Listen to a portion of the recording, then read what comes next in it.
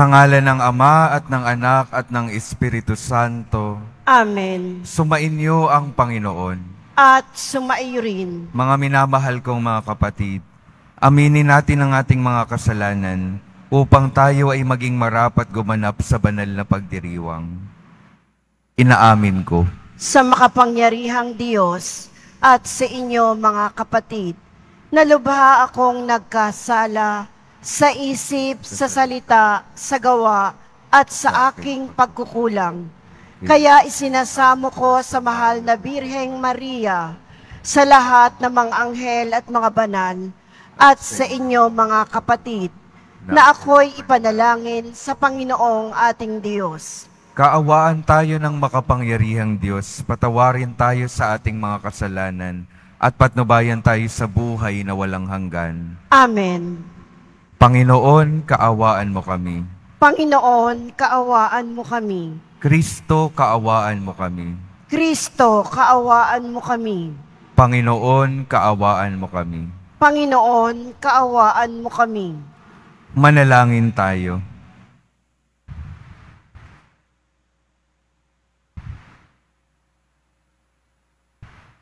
Ama naming makapangyarihan, sa pagsasaloob ng pagtitiis ng aming Panginoong Heso Kristo, si Santa Catalina ay pinag-alab mo sa iyong pag-ibig at sa masigasig na paglilingkod sa iyong simbahan. Bilang tugon sa kanyang pagdalangin, ang iyong sambayan na naway laging magalak sa pakikiisa kay Kristo at sa pagpapahayag ng kanyang pagkabuhay bilang tagapamagitan kasama ng Espiritu Santo magpasawalang hanggan. Amen. Magsiupo muna po ang lahat. Pagbasa mula sa mga gawa ng mga apostol. Noong mga araw na iyon, kumilos agad ang mga hentil at ang mga Hudyo, kasama ang kanilang mga pinuno laban sa mga apostol. Binalak nilang lapastanganin at batuhin sila. Subalit, nang malaman ito ng mga apostol, sila ay tumakas patungo sa Listra at Derbe, mga lungsod ng Likaonya, at sa lupaing nasa palibot. At doon nila ipinangaral ang mabuting balita. Sa Listra, may isang lalaking di makalakad sapagkat siya'y lumpo mula sa pagkabata. Nakaupo siya at nakikinig sa pangangaral ni Pablo. Nang makita ni Pablo na ang lumpo ay may pananampalataya upang mapagaling, tinitigan niya ito at malakas na sinabi, Tumayo ka ng tuwid. At lumukso ang lalaki at nagpalakad-lakad.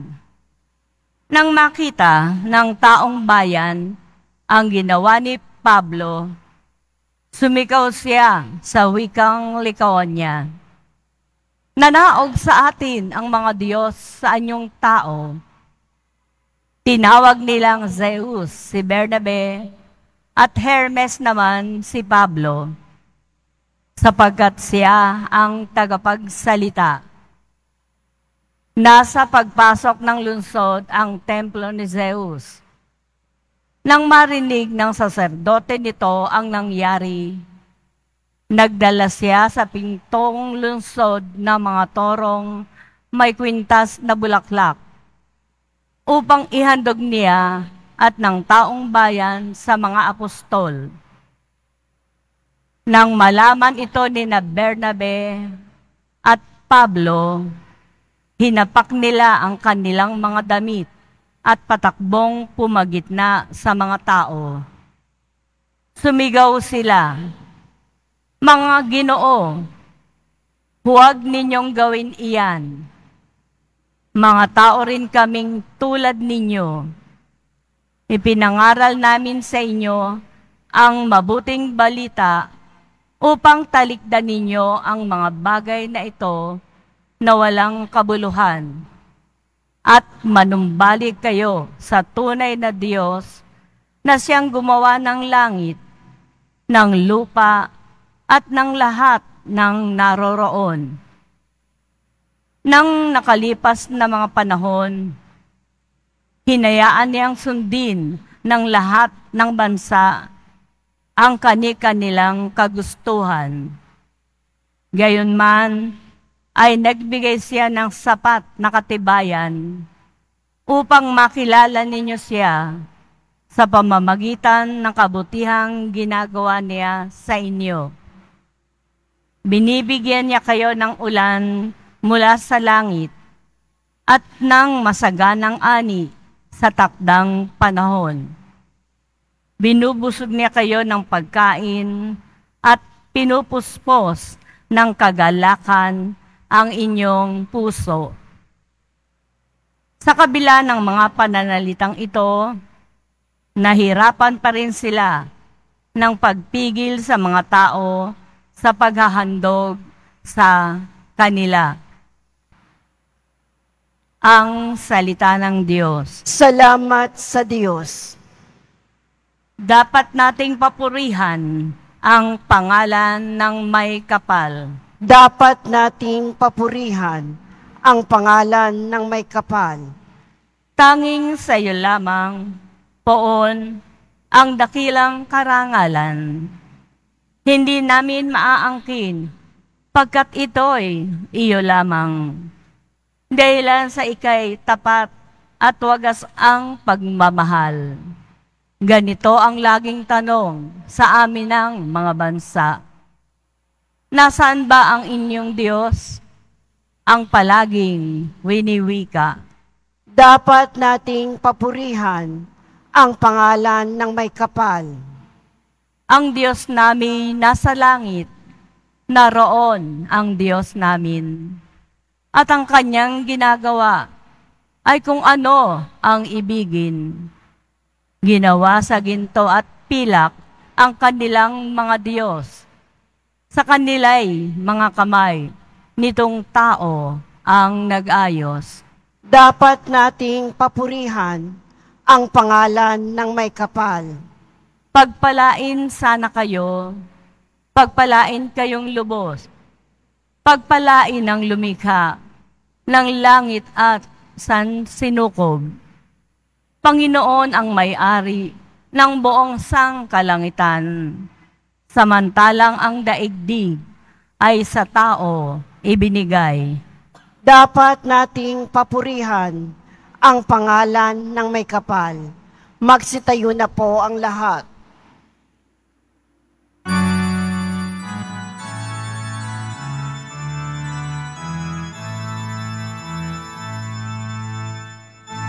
Espirito'y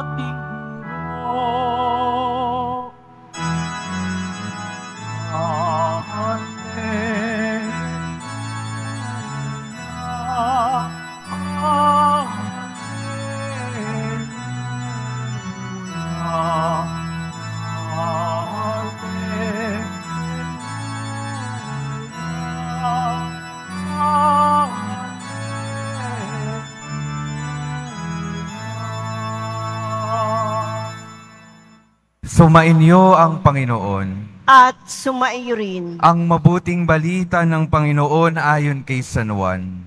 Papuri sa iyo, Panginoon. Noong panahong iyon, sinabi ni Jesus sa kanyang mga alagad, Ang tumatanggap sa mga utos ko at tumutupad nito ang siyang umiibig sa akin. Ang umiibig sa akin ay iibigin ng aking Ama. iibigin ko rin siya at ako'y lubusang magpapakilala sa kanya. Tinanong siya ni Judas, hindi ang Iskariote. Panginoon, bakit po sa amin lamang kayo magpapakilala ng lubusan at hindi sa sanlibutan? Sumagot si Jesus, Ang umiibig sa akin ay tutupad ng aking salita. Iibigin siya ng aking ama at kami isa sa kanya at mananahan sa Kanya. Ang hindi umiibig sa akin ay hindi tumutupad sa aking mga salita. Hindi akin ang salitang narinig ninyo, kundi sa amang nagsugo sa akin. Sinabi ko sa inyo ang mga bagay na ito, samantalang kasama pa ninyo ako. Ngunit ang patnubay, ang Espiritu Santo na susuguin ng Ama sa pangalan ko, ang siyang magtuturo sa inyo ng lahat ng bagay at magpapaalala ng lahat ng sinabi ko sa inyo. Ang mabuting balita ng Panginoon. Pinupuri ka namin, Panginoong Heso Kristo. Magsiupo muna po ang lahat. Magandang umaga po sa inyong lahat, mga minamahal kong mga kapatid na naririto at kasama natin online. Good morning po. Pakingitian naman po yung mga taong malapit sa inyo, pakisabi, magandang umaga.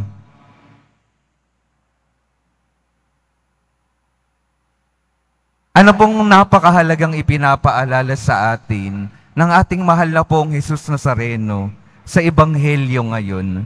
Tinuturuan niya tayo kung paano ba natin mamahalin ang Diyos ng tama tinuturuan tayo kung paano tayo magmamahal ng tama sa ating Panginoon.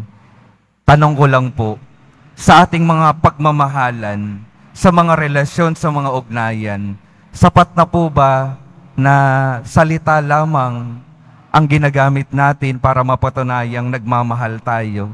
Hindi naman ho, di ba? Hindi naman sapat na sabihin yung mahal kita, pero hindi naman nakikita sa inyong mga gawa. At hindi rin sapat na ikaw lamang ay tumatanggap ng mga salita.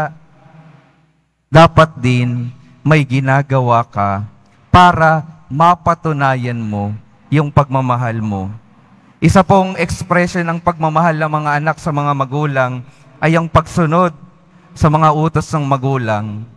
Halimbawa, tutulungan sa pagluluto, magpapabili ang nanay ng ng toyo o suka sa tindahan, uutosan ng anak, Anak, bumili ka nga ng ganito sa tindahan. Sasagot ang anak, Sige po, pero hindi naman kumilos. Nasunog na yung niluto, hindi pa nakakabili ng pangkompleto sa pangluluto. Hindi sapat na ginagamit lamang natin ang salita. Hindi sapat na alam lang natin kung ano yung inuutos dapat gumagawa rin tayo, kumikilos tayo. At ito po yung ipinaalala ng ating Panginoon sa ating Ebanghelyo. Ang sabi ng ating Panginoon, ang tumatanggap sa mga utos ko at tumutupad nito, ang siyang umiibig sa akin. Ang tumu- tumatanggap at tumutupad sa mga utos ko, ang siyang umiibig sa akin. Kaya magandang pagnilayan sa araw na ito. Una, tunay ba tayong bukas para tanggapin ang mga salita at utos ng ating Panginoon? Yun yung unang mahalagang bagay. Alam ba natin kung ano yung sinasabi ng ating Panginoon? Dahil kung hindi natin alam, hindi rin natin malalaman kung ano yung dapat nating sundan na mga salita sa ating mga buhay. Kaya ang unang biyayang hingin natin, kabukasan ng ating mga kalooban upang maging maliwanag kung ano ba ang utos at mensahe ng ating Panginoon. At matapos nating malaman ito, hindi sapat na alam lang natin ang mga ito. Dapat mayroon tayong pagtugon sa ating mga buhay sa pamamagitan ng pagsunod sa mga sinasabi ng ating Panginoon. Hindi sapat ang pagtanggap. Dapat sinusunod natin ang tinatanggap nating mga salita na galing sa ating poong Jesus Nazareno. Ito yung magbibigay sa atin ng buhay at gana habang tayo ay naglalakbay sa mundong ito. Ito yung magbibigay sa atin ng magandang bunga sa ating mga buhay. Yung pagtanggap at pagsunod sa mga salita at utos ng ating Panginoon. Ito yung magbibigay ng kapayapaan sa ating mundo. Magbibigay ng kaayusan sa ating mundo. Yung tunay at tapat na pagsunod sa ating Panginoon. Kaya naman ho, nagkakaroon ng maraming kaguluhan sa ating bayan, sa ating mga komunidad, sa ating mga pamilya. Kasi nakakalimutan na natin na mapakinggan yung ating Panginoon at nakakalimutan natin na sundan yung mga utos ng ating Panginoon. Kaya mga minamahal kong mga kapatid, may paanyaya po ang ating Panginoon. Isang tabi ang ating mga pansariling kagustuhan. Isang tabi ang ating mga sariling interes para mabuksan ang ating mga buhay sa kagustuhan ng Diyos, sa interes ng Diyos, at malalaman at makikita po natin kapag tayo ay sumusunod sa nais ng Diyos, ito'y palaging para sa makakabuti ng lahat. Ito'y palaging para sa ikabubuti ng lahat. Kaya mga minamahal kong mga kapatid, sa ating pagpapasimula ng ating linggo, ito po yung paalala sa atin. Buksan ng ating mga buhay upang tanggapin ang mensahe ng ating Panginoon at magkaroon tayo ng lakas ng loob na sundin ito. Ito po ang magpapatunay ng ating pagmamahal sa Diyos, ang pagtalima sa kanyang mga salita. Ngayon pa lamang hanggang sa dulo ng ating mga buhay. Amen. Magsitayo na po ang lahat.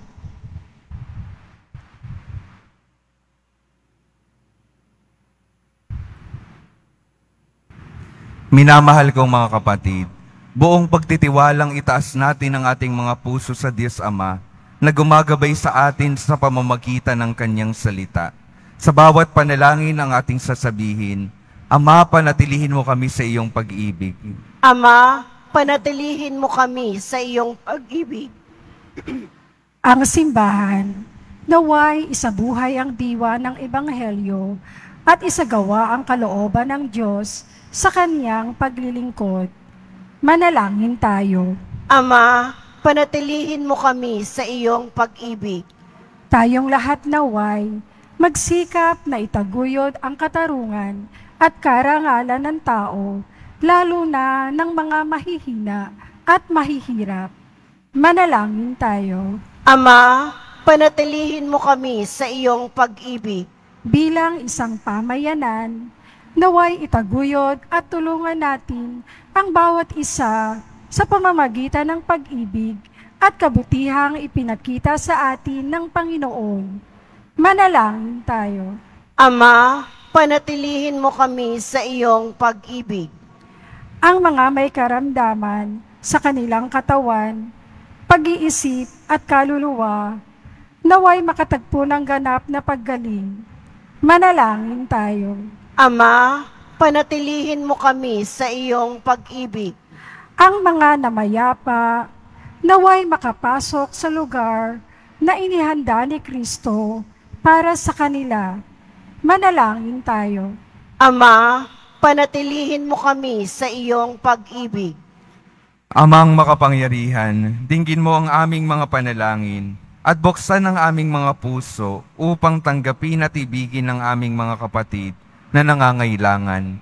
Hinihiling namin ito sa pamamagitan ni Heso Kristo na aming Panginoon. Amen. Magsiupo muna po ang lahat.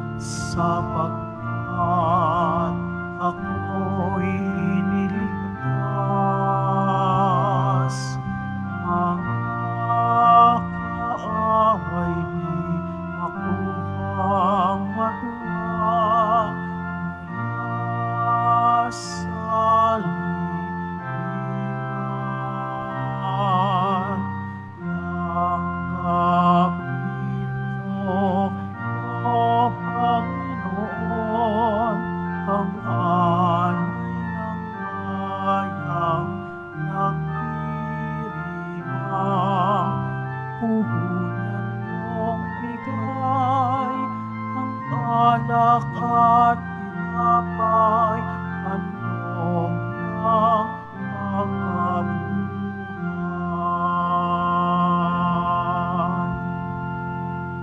Magsitayo na po ang lahat.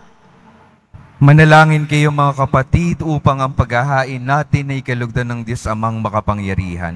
Tanggapin nawa ng Panginoon itong paghahain sa iyong mga kamay, sa kapurihan niya at karangalan, sa ating kapakinabangan at sa buong sambayanan niyang banal.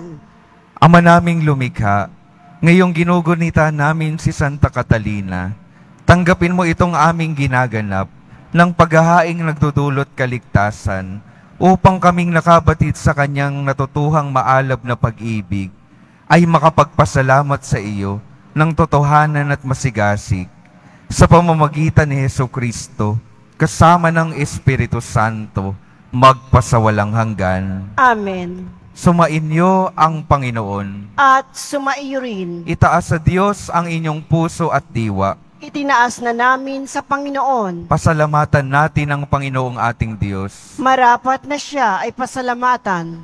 Ama naming makapangyarihan, tunay ngang marapat na ikaw ay aming pasalamatan.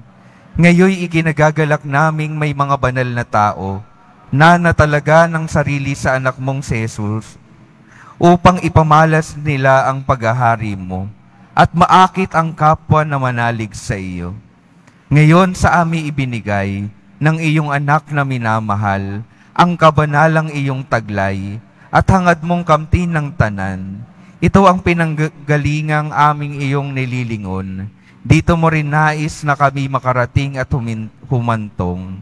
Kaya kaisa ng mga anghel na nagsisiawit ng papuri sa iyo, nang walang humpay sa kalangitan, kami nagbubunyi sa iyong kadakilaan. Santo, Santo, Santo, Panginoong Diyos ng mga hukbo, napupuno ang langit at lupa ng kadakilaan mo.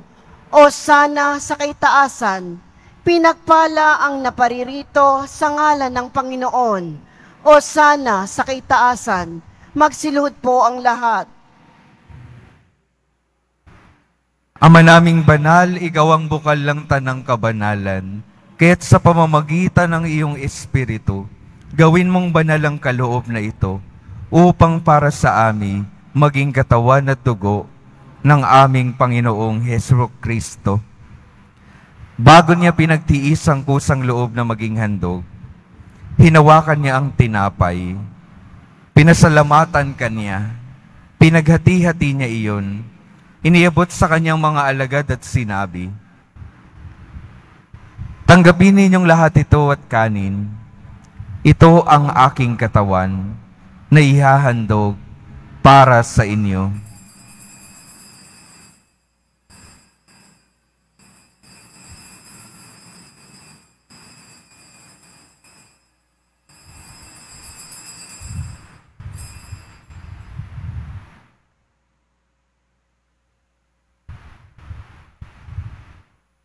Gayon din naman nung matapos ang hapunan, hinawakan niya ang kalis, muli kanyang pinasalamatan. Iniabot niya ang kalis sa kanyang mga alagad at sinabi, Tanggapin ninyong lahat ito at inumin. Ito ang kalis ng aking dugo, ng bago at walang hanggang tipan.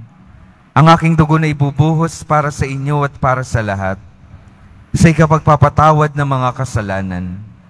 Gawin ninyo ito sa pag-alala sa akin.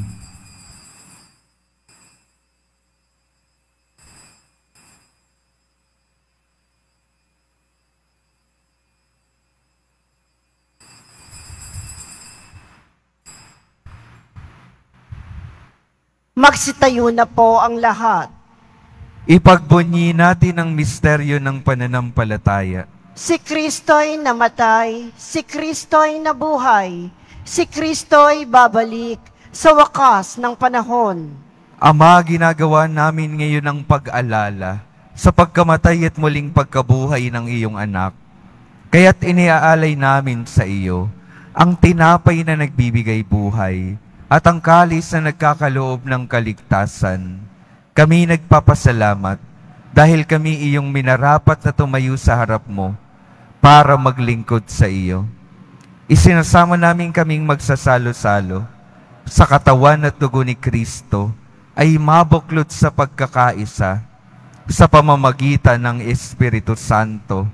Ama, lingapin mo ang iyong simbahang laganap sa buong daigdig. Puspusin mo kami sa pag-ibig.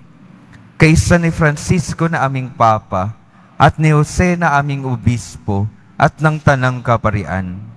Alalahanin mo rin ang mga kapatid naming nahimlay nang may pag-asang sila'y muling mabubuhay. Gayon din ang lahat ng mga pumanaw. Kaawan mo sila at patuloyin sa iyong kaliwanagan. Kaawan mo at pagindapatin kaming lahat na makasalo sa iyong buhay na walang wakas. Kaisa ng mahal na Birheng Maria na Ina ng Diyos, ng kabiyak ng puso niyang si San Jose, kaisa ng mga apostol, ni San Juan Bautista at ng lahat ng mga banal na namuhay dito sa daigdig ng kalugod-lugod sa iyo. Maipagdiwang nawa namin ang pagpupuri sa ikararangal mo sa pamamagitan ng iyong anak na aming Panginoong Heso Kristo. Sa pamamagitan ni Kristo, kasama niya at sa Kanya, ang lahat ng parangal at papuri ay sa iyo, Diyos amang makapangyarihan, kasama ng Espiritu Santo, magpasawalang hanggan. Amen. Sa tagubilin ng mga nakagagaling na utos at sa turo ni Jesus, na Panginoon natin at Diyos, ipahayag natin ng lakas loob.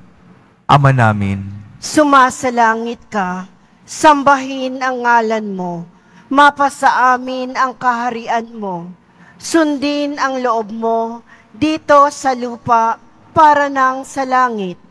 Bigyan mo kami ngayon ng aming kakanin sa araw-araw at patawarin mo kami sa aming mga sala para ng pagpapatawad namin sa nagkakasala sa amin at huwag mo kaming ipahintulot sa tukso at iadya mo kami sa lahat ng masama. hinihiling namin kami adya sa lahat ng masama, pagkalooban ng kapayapaan araw-araw, iligtas sa kasalanan, at ilayo sa lahat ng kapahamakan, samantalang aming pinananabikan ang dakilang araw ng pagpapahayag ng tagapagligtas naming si Heso Kristo. Sapagkat iyo ang kaharian at ang kapangyarihan at ang kapurihan magpakailanman. Amen. Panginoong Heso Kristo, sinabi mo sa iyong mga apostol, kapayapaan ang iniiwan ko sa inyo, ang aking kapayapaan ang ibinibigay ko sa inyo. Tunghayan mo ang aming pananampalataya at huwag ang aming pagkakasala. Pagkalooban mo kami ng kapayapaan at pagkakaisa, ayon sa iyong kalooban, kasama ng Espiritu Santo, magpasawalang hanggan. Amen. Ang kapayapaan ng Panginoon ay laging sumainyo. At sumaiyo rin. Magbigayan kayo ng kapayapaan sa isa't isa.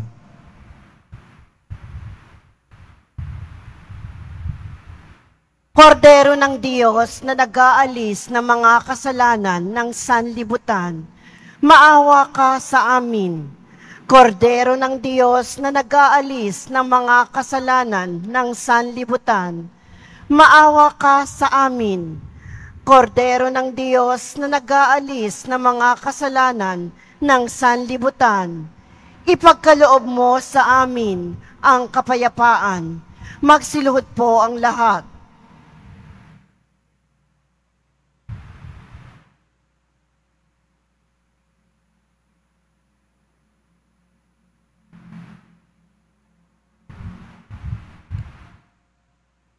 Ito ang kordero ng Diyos. Ito ang nag-aalis ng kasalanan ng sanlibutan.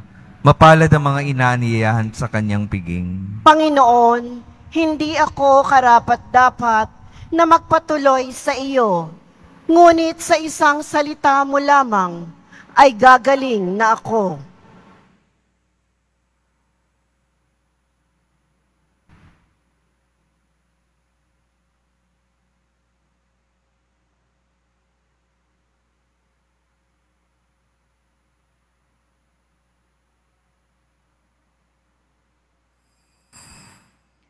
para sa lahat ng tatanggap ng banal na komunyon.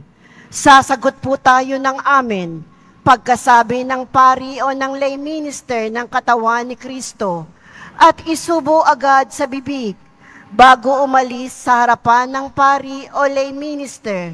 Sumunod po tayo.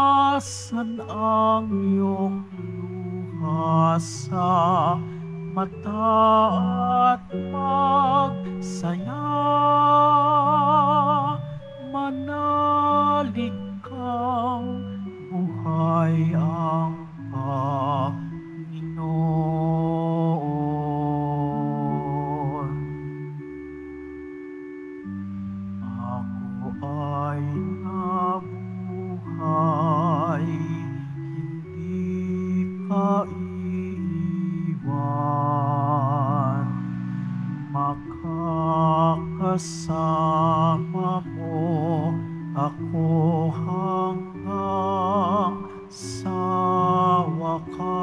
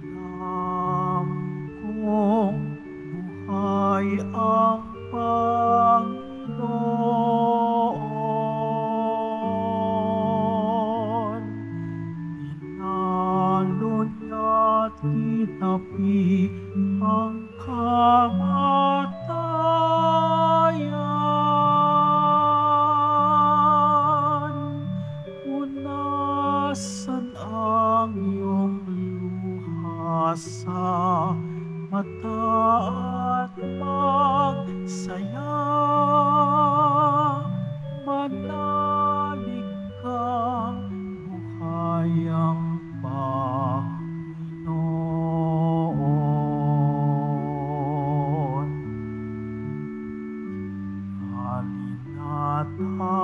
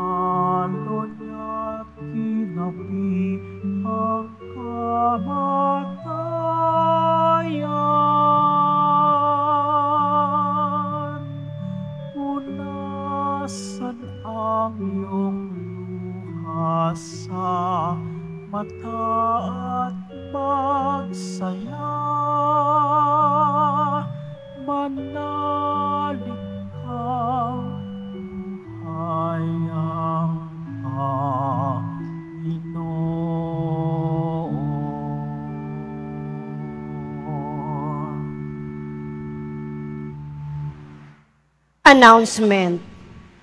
Ang lahat po ay inaanyayahan sa misa ng pamamaalam sa mahal na Birhen ng Antipolo. Bukas, April 30, sa ganap na ikaanim ng gabi. Ito po ay pangungunahan ni Most Reverend Ruperto Santos, Obispo na Antipolo, at susundan ito ng alay lakad para sa kapayapaan patungong Antipolo. Makiisa po tayo.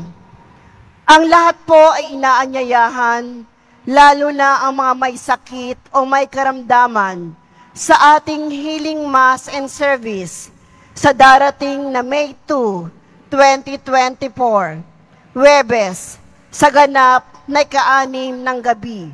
Makiisa po tayo. Mabibili pa rin po ang ating opisyal na imahen ni Jesus Nazareno. Ang mga ito po ay mabibili lamang sa ating Paris Finance Office. Ang malilikom po na pondo ay gagamitin sa pagsasaayos ng ating Adoration Chapel at Baptistry. Pagkatapos ng misa, wiwisikan po ang lahat ng banal na tubig. Pinakikiusapan ng lahat na manatili lamang muna sa inyong mga lugar, tanging sa Quezon Boulevard o sa Plaza San Juan lamang ang labasan ng lahat.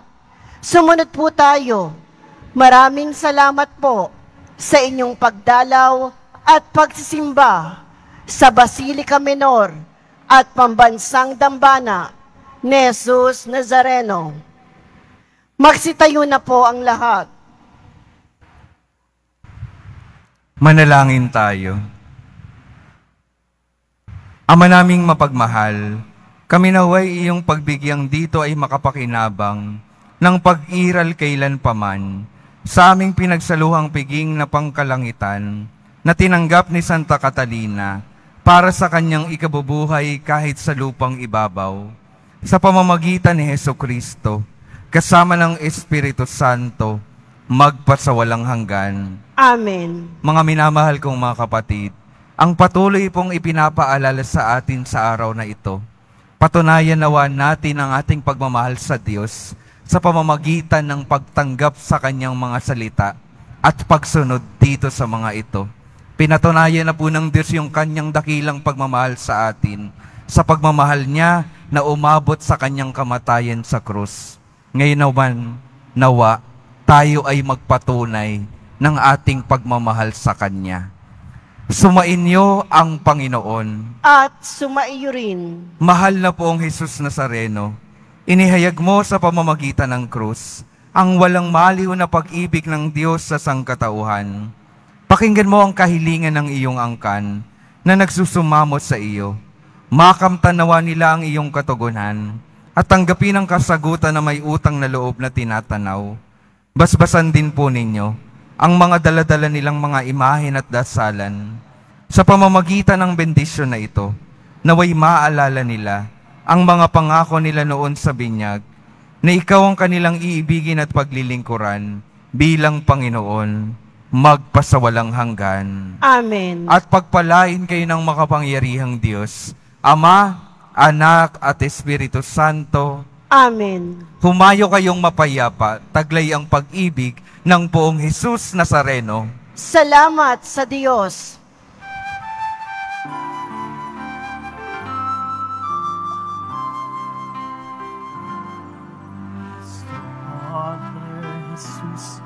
Nazareno, sinasamba ka namin.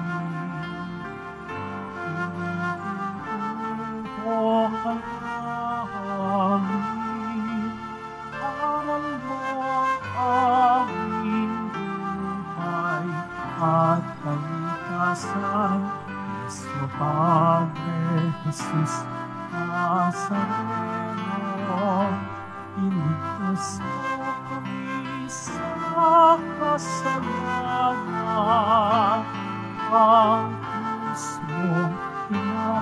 Ang ay sagisag ng